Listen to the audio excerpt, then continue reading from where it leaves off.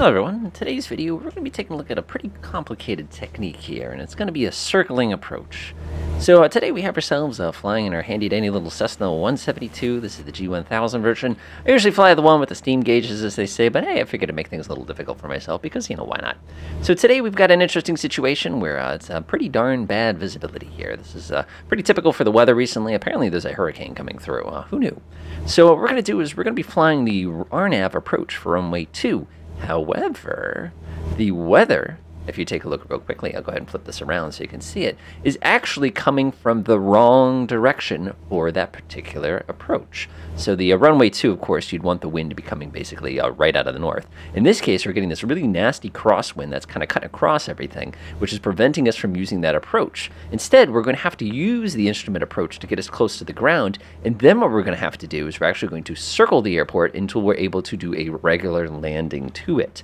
Now, you're probably sitting there going, okay, I didn't know that was a thing you could do. And believe it or not, it is. Uh, let's go ahead and take a look at the chart real fast. So uh, real quickly, know, just taking a look, we're using the RNAV GPS 2, or we're coming via thumb here. You can see I'm already at the correct altitude. I'm already on my way to thumb, as you can see over there on the right. So we're going to go to WEGOT, which is going to be our initial fix. Uh, this is a pretty straightforward one. And then we're going to drop down to 2,200 feet. And basically, we're going to approach Lomas, which is going to be our final approach fix at 22. And then we're going to go down to 680 feet. Now, this is where it's going to get interesting. If you take a look down here, you're going to see a thing that says circling.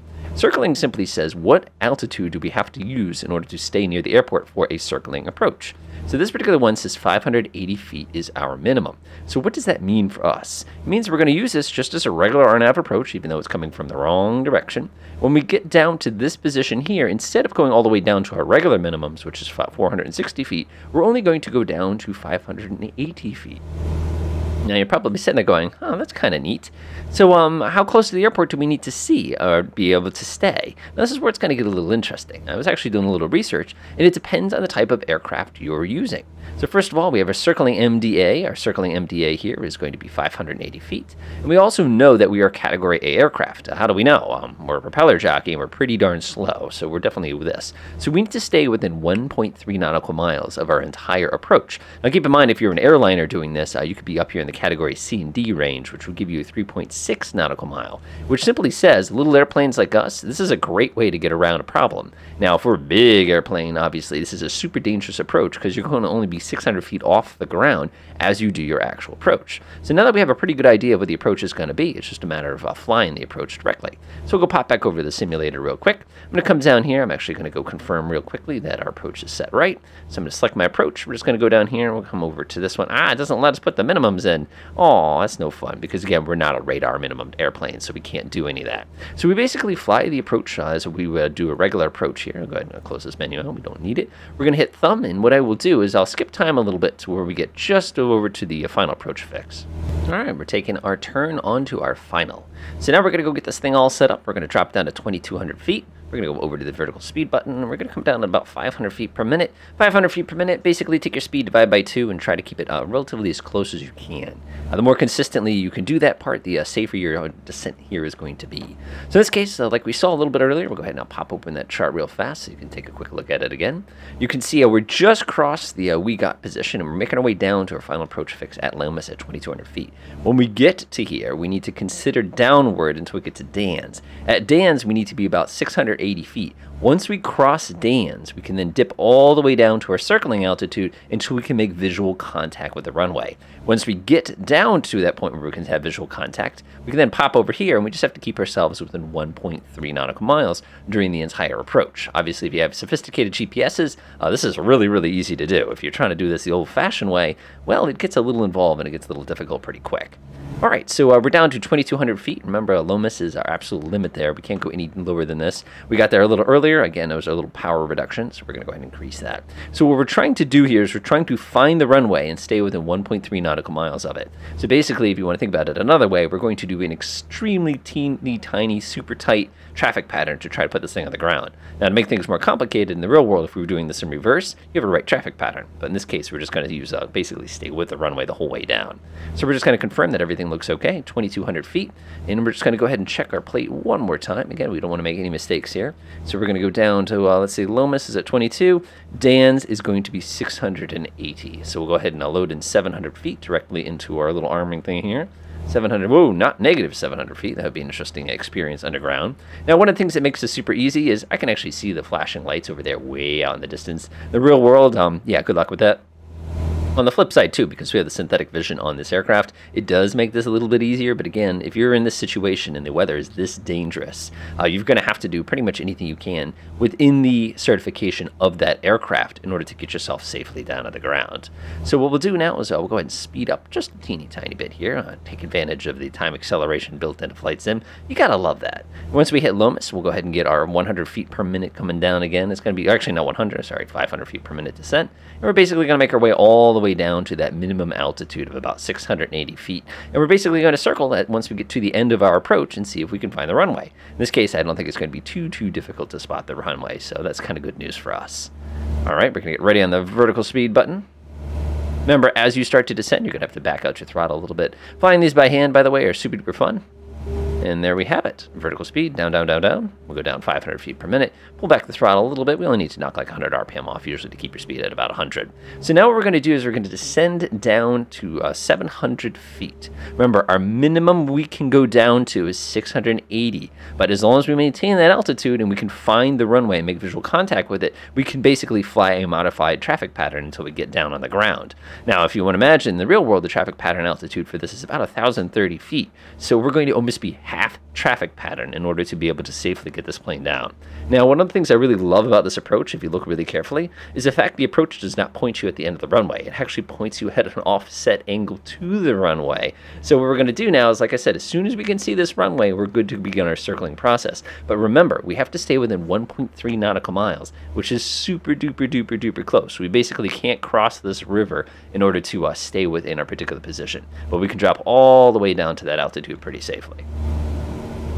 All right, I'm going to back the throttle out a little bit. We're getting a little on the fast side. Don't forget, you're still responsible for landing the plane. So things like uh, your landing gear, things like your flaps, you're going to want to make sure you put those out at the appropriate time so that you can safely, like I said, put this thing down. I can see the runway very clearly at this point, and uh, usually what you would do is you'd make the call to kind of let them know runway's in sight, and uh, they would clear you for the circle. But in this particular case, uh, we're just going to keep on coming down. like I said, we're looking for that minimum altitude when we cross that last position to Dan's, right around that 700 feet a look. Like I said, we're super lucky here. Uh, the visibility is a little too good, so let's make it a little worse. Why not, right? Let's make it 800 feet. Oh, it doesn't let me do 800 feet. Okay, fine. We'll do 500 feet. Jerk. All right, looks pretty good. Nice. And again, in the real world, the uh, visibility would probably be, eh, well, we can do that too, can't we? Let's go over here. Let's make it a little bit more exciting, because right now it's just, ah, it's just kind of lame, kind of lame. Okay, we've got the weather. Looks pretty good. Looks pretty good.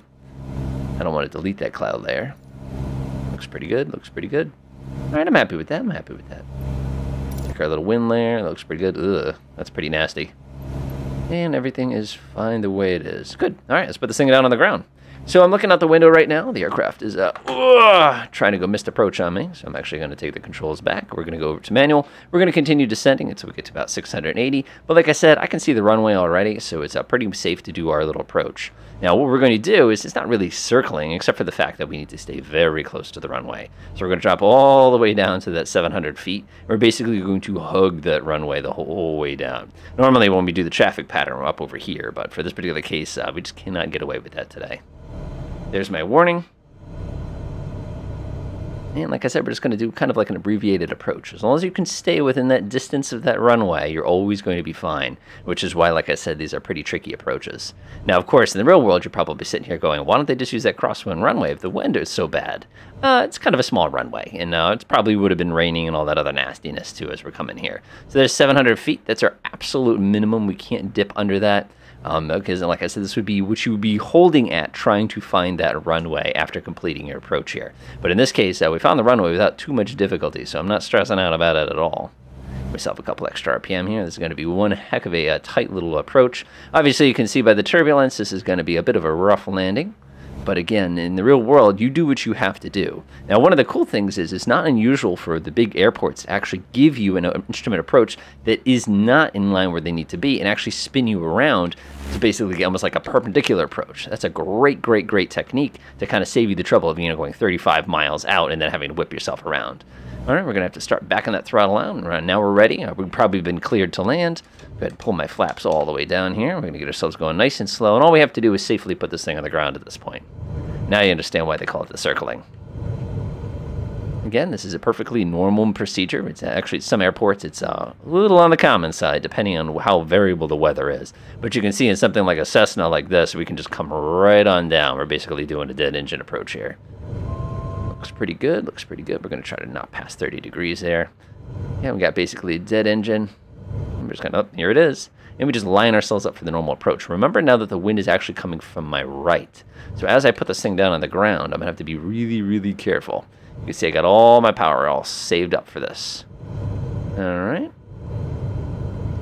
There's a big old number 20. You can see that really nasty looking windsock. Hold this over the ground just a little bit, nose up. Picked up a little bit of extra speed, and we are down. Nice. Keep flying the airplane after touching the ground. All right, hopefully this video is helpful as far as uh, making you see uh, what this kind of approach can look like. It's, like I said, it's a neat way to use an instrument approach to safely find the airport more so than to, you know, put the plane on the ground. You basically do all that stuff visually. Everything else is done, as you can see, just like you did now. Enjoy.